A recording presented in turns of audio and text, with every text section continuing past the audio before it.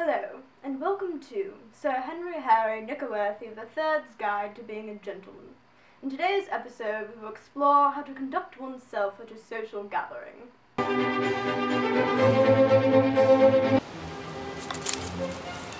At a social event, a gentleman must always look poised and well composed.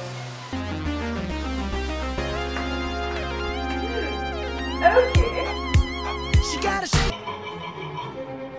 A gentleman must also be prepared to be polite and courteous no matter the circumstances.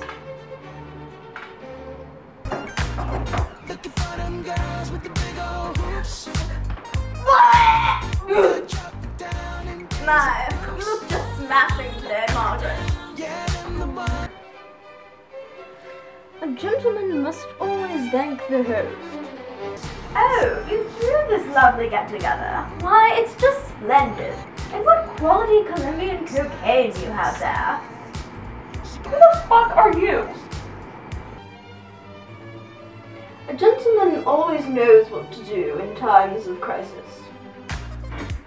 And then I said, I drink tea with anything. Ho ho ho. The police! The police are here! Oh shit!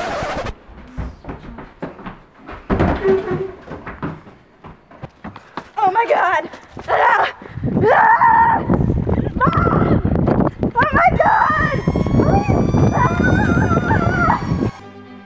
Above all, a gentleman always keeps his cool.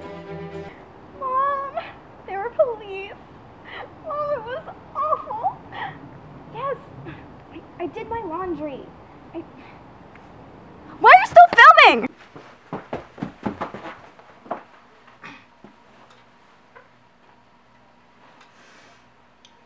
Thank you for joining me on this journey of self-betterment.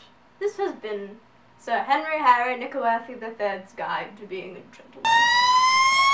Oh.